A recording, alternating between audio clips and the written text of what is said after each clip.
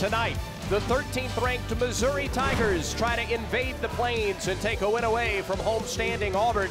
Missouri a win away from the top four. Strip down the floor. This time Missouri trying to get out ahead of the press. And they get a transition bucket from Frericks. Not take the first shot. You have to make the defense move. You have to make them make decisions and then get into rebounding position. But if you possess a two-pass offense, you're going to have a long night.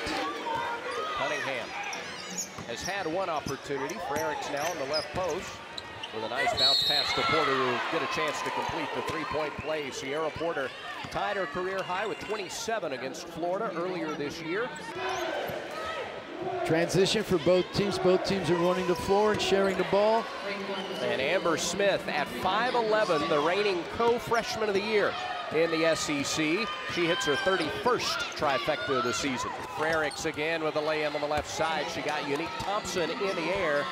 And Missouri beating Auburn down the floor off of misses. There's Sophie Cunningham doing what she does perhaps best. And now Amber Smith at the high post area. They're finding ways to attack this Auburn team. And great passing, yeah. interior passing. That time Smith to Frericks, and what a left-hand soft touch for that young lady. Oh, behind the back pass in the finish. Cunningham to Frericks.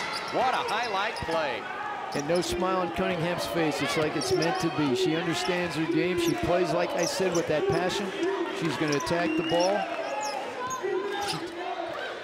Smith has the open jumper and she's got the touch. Smith has no fear. That's, I think, five shots in a row, but she made one, and she was looking the whole time. And Cunningham with her second three, this time from the right wing. 56 of them now on the season.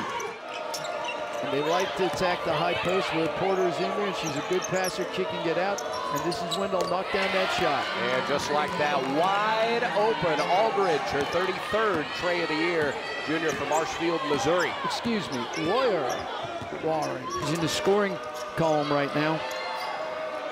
Frericks, the head fake, the drive, the finish.